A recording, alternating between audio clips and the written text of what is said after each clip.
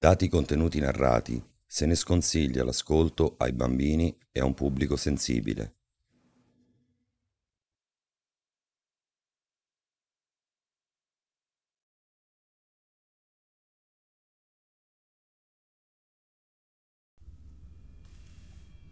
Il mistero dei bambini di Rebiribo 00 Capitolo 48 Aprì la porta e non vidi nessuno. Abbassai lo sguardo e c'era un biglietto. Matteo, cerca indizi, non startene in un angolo a girarti i pollici. Rientrai in casa leggendo quel biglietto. All'improvviso sentii di nuovo bussare alla porta.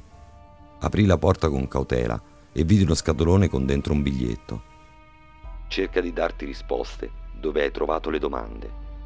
Oh Cristo, non so un cazzo, ma anche i biglietti in anonimo ricevo. Chiusi la porta con forza e porca puttana sentì ancora bussare. Con tutta la mia forza aprì e mi misi a guardare davanti alla porta. Non volevo più guardare in basso perché non volevo trovare altri biglietti. Ad un certo punto mi volò qualcosa in faccia. Perché non guardi giù? Iniziai a tremare, ma che cazzo sta succedendo? Presi coraggio e guardai in per terra. Nulla.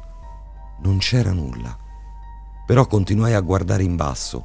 Sembravo un pazzo in fissa con il pavimento. Non so perché, ma stavo contando le mattonelle del pavimento. Ripensai ai biglietti che avevo trovato prima. È tutto strano, ma non so veramente da dove iniziare.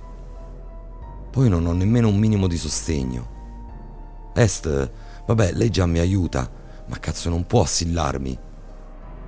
Così, anziché aiutarmi, mi ammazza. E poi vabbè, sarà inutile perché viene impossessata troppo spesso. Mi ripresi dallo stato di trance e alzai lo sguardo per tornare in casa. Vorrei tanto non l'avessi mai fatto.